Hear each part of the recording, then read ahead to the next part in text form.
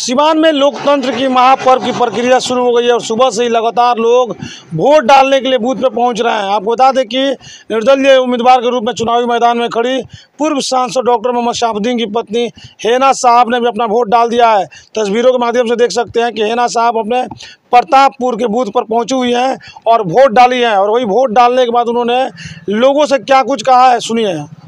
प्रयोग किया आपने क्या कहेंगे? पहले उंगली पर दिखा दीजिए आप। हाँ बोलिए, क्या कहेंगे? ये मताधिकार का प्रयोग हर जनता को है। भारत के संविधान से ये हक मिला है, जो हम लोगों ने यूज़ किया है। और इसके ज़रिया ही हमें सेवक का मौका मिले मैडम आप लगातार कैंपेन करती रही और बहुत बड़े बड़े दल के नेता भी लगे रहे कटाक्ष भी किए गए। कैसा महसूस हुआ और क्या लगता है हमें हमें उन लोगों का कटार सहने का बहुत जमाने से अनुभव है। उन लोगों का अपना कोई ज़मीन नहीं है इसलिए हमारे पे सभी लोग कटाच करते हैं। इसका मैं जवाब नहीं दूँगी क्योंकि मैं सिवान की बेटी हूँ।